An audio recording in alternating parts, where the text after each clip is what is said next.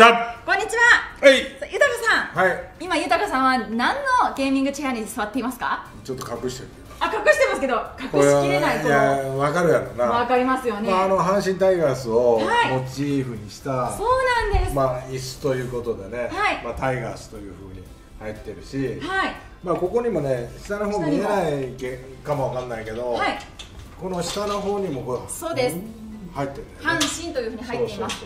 あの AK レーシングさんから、えーまあいつもお世話になってるしな。なんです、はい。えー6月15日にこちら、えー阪神タイガースのゲーミングチェアが発売されたということで、はい。もう売れ行き好調だそうです。なるほど。でやっぱ人気あるやろなそうですよ。これなもうこれもパッと見た瞬間に、はい。あ阪神のユニフォームだっていうのも分かりますし、まあ白地にこの黒の糸のこれですねあのうん。バイビングというかステッチ、はい。そしてこの黄色のアクセントカラーが、はい。これ阪神タイガースファンのみならずはい。あの一般の方でもね可愛いそれはもちろんそうだよ、ねまあ、各球団揃えるといいんじゃない？プロ野球ファン。だってこれは中日そうです。座ってるでしょ？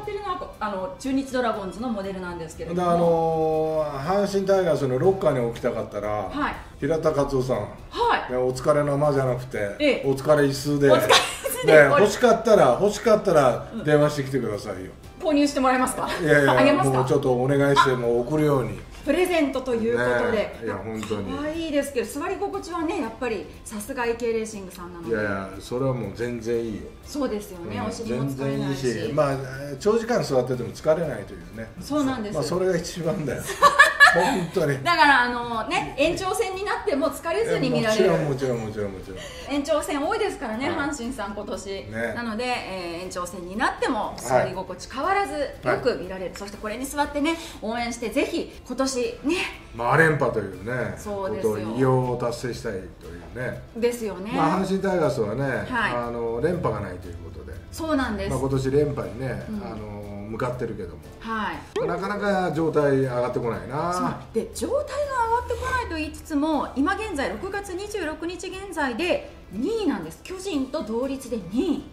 うん。まあ、全体的なその状態っていうのが、い。各球団上がりきれてないな、突出していくチームがないというのが今年まあ、その中でも広島っていうのが、はい。まあ、自分たちの力を最大限にとは言わないけども、まあまあ出してる方なのかなっていうような、まあ、それでこの位置にいるというね、そうですね、まあ、感じもするし、はい。ただ阪神どうしても言われているのが打つ方。まあ、そうだね、はい。まあ、ずーっと春先からだよな。そうなんです。あのチーム打率は6チーム中ワーストの2割1分8厘現在、で防御率は2.14なので、広島2.07に次ぐ2位なんですけれども、うん。とにかく打率が良くないということで。うんはい。ただこれちょっと見てみると得点は191得点。でで中日が165点で、まあ、ワースト？そこよりかはいい。で広島の197と、まあ、6点ぐらいの差なのでと得点はできてないわけではないんですか？まあでもできてないうちと一緒だよね、そうか、まあ、d n a とヤクルトがちょっと得点ではね走ってるんですけれども。ということで今日は阪神まあだから打って欲しい人が打ててないというかさ、まあ、広島の小園は4番に座ったりだとかしてね。はい。それでも状態を保ちながら、うん。まあ、得点圏打率っていうのがすごくいいし。はいでも、まあ、阪神になると得点圏打率のいい人っていうのが、やっぱりいなくなってる状態だよね。今そうなんあの近本もあまり良くないしね、はい。だから頼れるバッターが今本当にいなくなってるという、うん。まあ、そういう現状はあるよね。そうですよね。というわけで今回は阪神、はい。今年ア連覇ここからできるのかということをズバリ豊さんにそうだな、はい、まあ、このままの状態では難しいよな。まず、まあ、このままのバッティングでは難しいと思うあの豊さんが先日その交流戦の終わってからの動画ででもいい兆しは？出てるは出てると、うんそれはどうですか？リーグ戦再開してみて。まあ、再開してみて大山が戻ってきたりだとか、はい。まあ、その打順を組む時に、まあ、1番近本とか中野とか、はい。で森下大山とか、まあ、そういうふうな通常の、まあ、打線は組め出したよね、はい。まあ、例えばその近本が4番を打ったりとか、うん。少しイレギュラー気味の打線ではなくて、通常に戻ったかなっていうような気はするんだけども、はい。まあ、なかなかやっぱこううまく機能しないね。それはもう個々の状態がっていうことになってるんですか？まあ、個々の状態もそうだし、まあ、例えば昨年の流れからすると大山里輝だったんだけども、はい。今大山前川里輝になってるよね、はいいややっぱりサトテルは上に上げた方がいいかなっていうような気もするし、うん。だからまあそこら辺がやっぱこうしっくりこないんだろうなと思うよ指揮官は。なるほどそううん。あとその去年はやっぱりそのフォアボールの査定ということが注目されてフォアボールで出るそしてそこから点を入れるっていうのがこの阪神の特徴だったんですけども今年は例えば1球目にもうストライクが来られてそれをこう見逃すというかそういうシーンが結構あるんですけれども打っていかないというか1球目から。それってどうなんですか？まあ、狙い球が絞れてないというか、うん。まあ、そういうこともあるだろうけどもダブルプレーが多いなゲッツーが。うん。だからまあそこら辺でのその打者としての工夫うん。ここは絶対にあの打者の後ろ側に打っていくとか、はい。まあ、いろんな工夫があっても良さそうなもんだけども、やっぱ打たされてるっていうバッティングが多いな。相手バッテリーに。うん。ということは相手バッテリー各5チームがその阪神というチームの打を去年のこともあって非常に警戒してマークして研究してきてるっていうこといやそれはやっぱりさ日本一のチームだから、はい。まあ、昨年ね、んそれはマークはしてるだろうし、ん。そのマークするポイントとすれば、じゃあ誰をポイントとしてターゲットとして、ん。まあ、やればいいかっていうのももう各球団出してるだろうし、はい。でそれにはやっぱフォアボールを出さないとか、うんうんまあ、一つの阪神の戦い方の昨年の形とすればフォアボールが絡むと、はい。絶対フォアボール出すなよと、うん。うんいうようなことだよね。そうですようね。で豊さんがやっぱりそのはい。ゲッツーが多いと今シーズンははい。おっしゃってた通り、まあ去年は143試合で92これはリーグ最小だったんですけれども、今年はここまで70試合で59これリーグワースト。打たされてるのかもう工夫がないのか、うん。まあどちらかだと思うけども、はい。阪神のそのラインナップのセンスを見ると、まあ、思考だとか工夫はしようとしてるんだろうけどもなかなかこう打たされてる傾向が多くて、はい。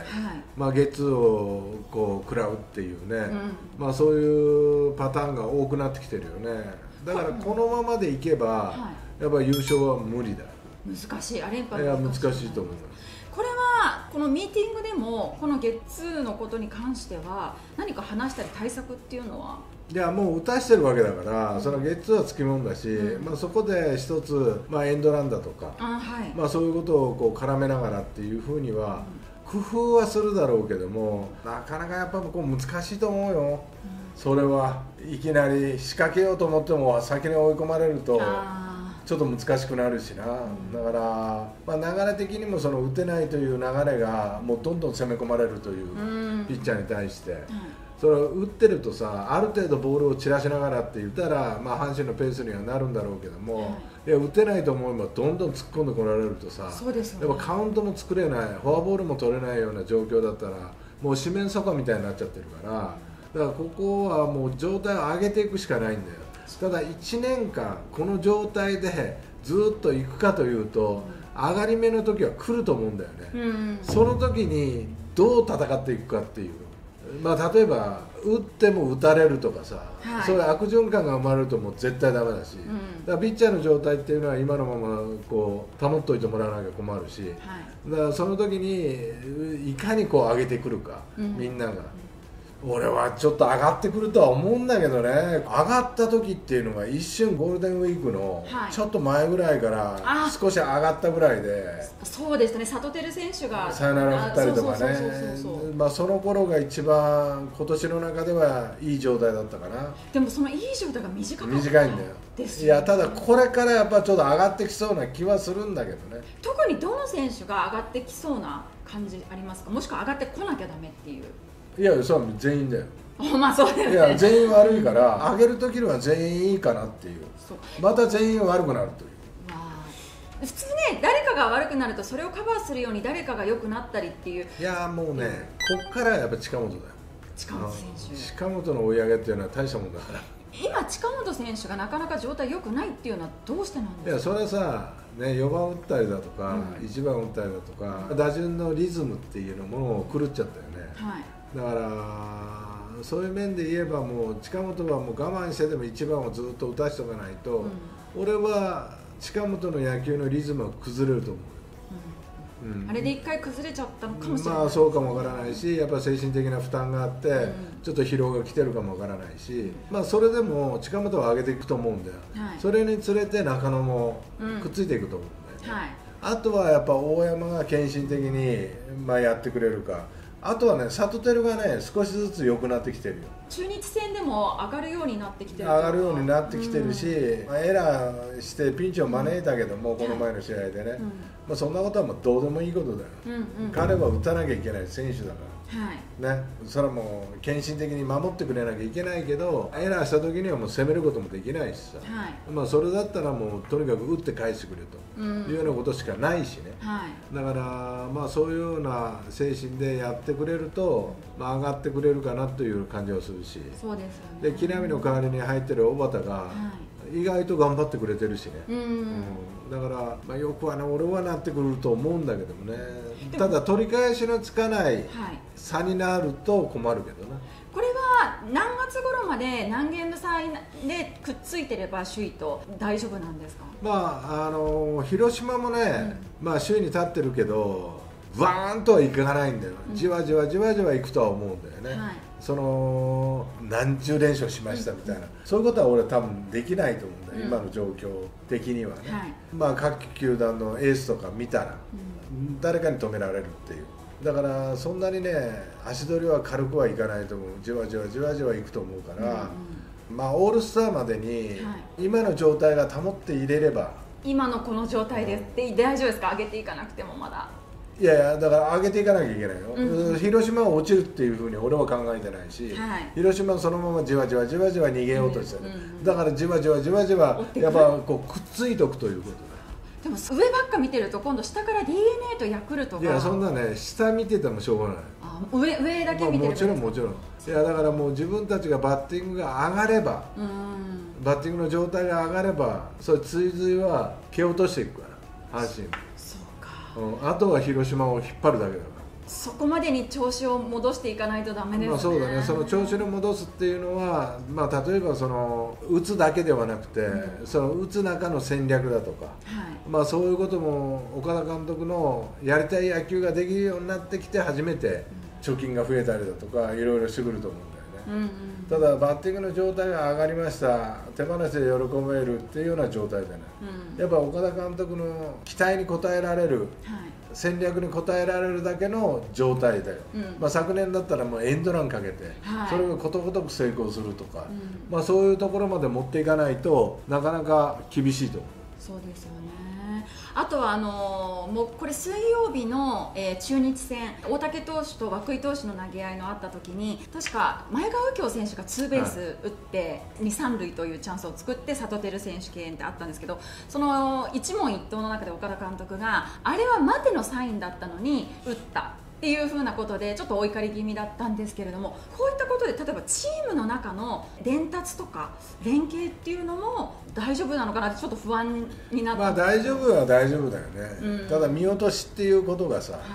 それまではもうそこまで自由にやらせてたのに、いやもう勝手に打っちゃうから待て出せとか、い。打て出せとか、まあ、そういうふうなサインが、まあ、たまに使われる時があるんだよね、からその見落としだろうけども、まあやっぱこう指揮官が指揮を取ってるわけだから、はい。監督がね、だからその通りに動いてくれないと、うん。やっぱ指揮官の頭が動かなくなるというか、そうですね。おかしくなるっていうことも考えておかないとさ選手は。はい。誰に預けて、ん。誰が責任を持ってやってるかっていうと、やっぱ監督が一番持ってやってるからね。はい。だからそこら辺のその意思統一というか、まあ、統一的なものっていうのはやっぱ守られていかなきゃいけないよね。そうですよね、あとはこう夏場から夏場以降にかけてやっぱ各チームともにピッチャーの疲れっていうのが出てくると思うんですけれども阪神もやっぱり若干ピッチャーの疲れっていうのは夏場とか夏場過ぎっていうのは出てきそうな感じはありますか？それとも大丈夫ですか、俺は大丈夫だと思う。うんその暑い日にはい。甲子園が行われる、うん。甲子園を明け渡す、はい。だからドームが増えるんだよね、うで甲子園でやる時期よりも、はい。で練習もある程度、うん。緩和されてくる。んはい、楽だと思うよ。逆逆に。に有利ですよねホテル暮らしで。快適で、快適で。飯は用意されてるはい。ね、いや俺は快適なんじゃないかなと思うよで大阪でやるときは京セラでやるしさ。そうですそうです。移動の疲れはあるにしても、うん。まあ、そんなに野球をやってる疲れっていうことは感じなくてもいいのかなっていう。おーピッチャー陣に関してはじゃあ、まあ、昔はさ大変だったよ死のロードって。はい。まあその移動手段もさ、ね、今ほど整備されてないし、はい。それは昔のことであって、今は快適ロボットだと思うけどなそうですよね。俺は、確かにそうですね。う逆に他球団の方がね野外の球場は暑いって、ん、まあまあ確かにな、うん。だからまあそういうだからこれからはやっぱこう DNA だとか、はい。まあ、ヤクルトだとか、うんそうやってもう外でやっぱり練習もしなきゃいけないとか、そういうところはやっぱ大変だと思うよ広島とかピッチャー陣きついですよね。ねいやーだからきついと思うよ。そうですよね。ということは阪神はまだまだチャンスがもちろん。いやチャンスはあるある、うん。チャンスはあるんだけどやっぱこのままのバッティングでは無理だということだよね。そうですね、うん、それは無理無理それはもうこのままだったらピッチャーパンクするよそうですね。スト起こしますよね。いやもう大変だから。ただ左ピッチャーが若干疲れてるなっていうような感じがするしね。あまあ桐敷とか、ーはい。うん。まあ、そこら辺はちょっと心配ではあるけどね。うん。ただオールスターぐらいまではその首位のカープに、ね、じりじりとくっついていくような形でいって。まあそうだな、うん。まあそっからだろうね、うん。そっからどう気持ちが変わってくるのか。そこが分岐点ですかね。そこで野手陣が調子を上げていくかこのままで落ちていくのかで去って広がってまあそうだね、そのオールスター明けにそのバッティングがある程度の状態を保ってきて、うん。あの打ってくれれば、はい。それはもちろんチャンスもあるし、うん。まあ、このまま1年間これ打てないまま終わったんだったらもう野手は全員ダウンだな。